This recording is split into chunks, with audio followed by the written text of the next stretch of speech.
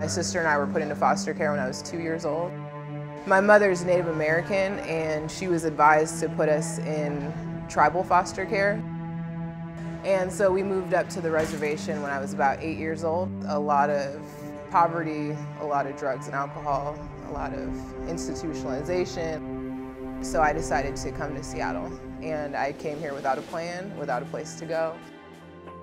After staying on some couches and in some shelters, I came across a flyer for this place and it was just a blessing to have a home for 18 months with two meals and a warm bed. So.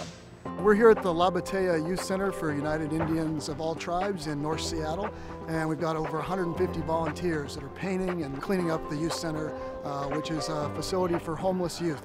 This is part of Comcast Cares Day. This is the largest corporate day of service in the country. This year we've got 700 projects that are going on all over the United States and uh, across the world. There's an old Hopi saying that says, think happy thoughts. And because of you folks, I think we're all going to be able to do that. American Indians tend to be what I call an invisible minority population in the United States. To have this many people come in and actually make such a huge, huge difference in such a short time has a great psychological impact on our youth. It's great to know that there's people out there that are caring for me and will actually help me. And I didn't get a lot of that growing up, so it's actually really nice now.